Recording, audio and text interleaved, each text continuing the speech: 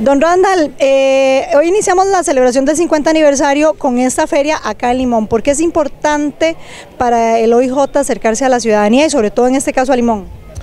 Para nosotros, de hecho, nuestra misión se, puede leer que dice para servir y para proteger a Costa Rica. Entonces nosotros somos una institución al servicio de la, comunidad.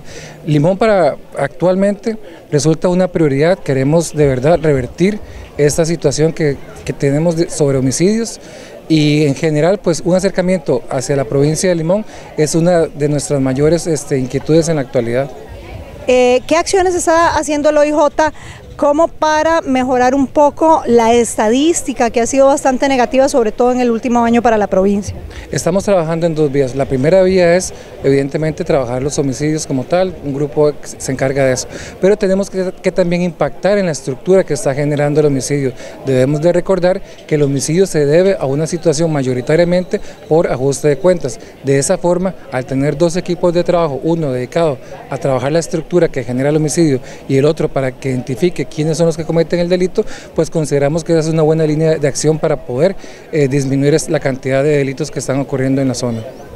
Eh, los homicidios obviamente pues es una preocupación para el OIJ, pero el narcotráfico ha sido, digamos, como la punta de lanza para estos, para estos homicidios. Se está haciendo todas las acciones relacionadas también con el tema del narcotráfico. De hecho que sí, cuando yo te hablo de estructura me refiero a la estructura criminal que genera el homicidio que está asociada al narcotráfico. Entonces, estamos nosotros de alguna forma logrando el cometido de poder abordar las dos problemáticas, tanto el homicidio como el narcotráfico. Es importante recordar que para nosotros es necesario de alguna manera aplanar o bajar la curva este, incremental del homicidio, porque el homicidio no nos permite eventualmente escalar dentro de lo que es las fases de investigación. Entonces, si tenemos una cantidad importante de robos, hurtos en la parte inferior de la escala. Después pues, le podemos hacer fraudes, después agresiones, extorsiones, gota a gota y por encima de ellos está el homicidio.